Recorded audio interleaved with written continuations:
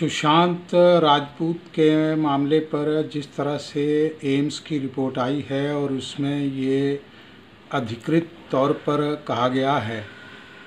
कि ये आत्महत्या का मामला था, हत्या नहीं थी। ये मामला, इसका पटाक्षेप होने के बाद ये बात साफ़ है कि भारतीय जनता पार्टी ने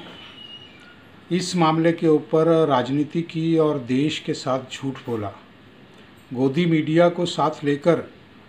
जिस तरह से भारतीय जनता पार्टी ने जन भावनाओं को भड़काकर राजनीतिक लाभ लेने की कोशिश की और पूरे देश में जिस तरह से बवाल मचाया, और हम तो ये कहेंगे कि पूरे देश का, समाज का समय और धन और गोदी मीडिया में जिस तरह से इसका एक हवा क्रिएट किया गया, ये निसंदेह दुर्भाग्यपूर्ण और शर्मनाक है। भारतीय जनता पार्टी की ये पुरानी आदत रही है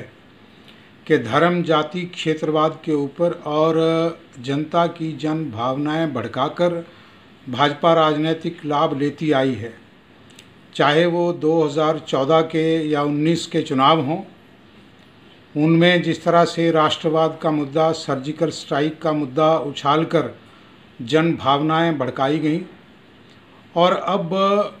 सुशांत राजपूत के मामले के ऊपर राजनीतिक लाभ लेने के लिए, खासकर बिहार में, इसका फ़ायदा लेने के लिए जिस तरह से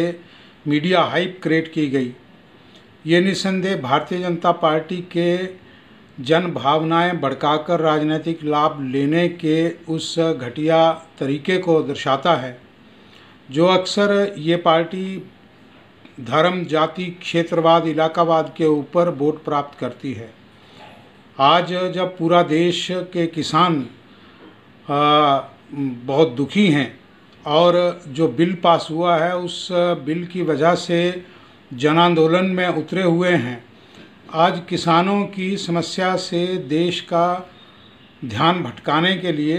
भारतीय जनता पार्टी ऐसे मुद्दों को उछालकर ध्यान भटकाना चाहती है। दूसरी ओर जिस तरह से उत्तर प्रदेश में एक बिटिया के साथ घिनौनी हरकत हुई, उसका बलात्कार और हत्या हुई, उस मामले पर जिस तरह से तानाशाही रवैया अपनाया और देश में जो आक्रोश है उसको दबाने के लिए अक्सर गोदी मीडिया के माध्यम से भाजपा ऐसा कुकृत्या करती आई है। लेकिन अब समय आ गया है, देश की जनता पहचान रही है कि किस तरह जन भावनाएँ भड़काकर जन समस्याओं से ध्यान भटकाने की भाजपा कोशिश करती आई है।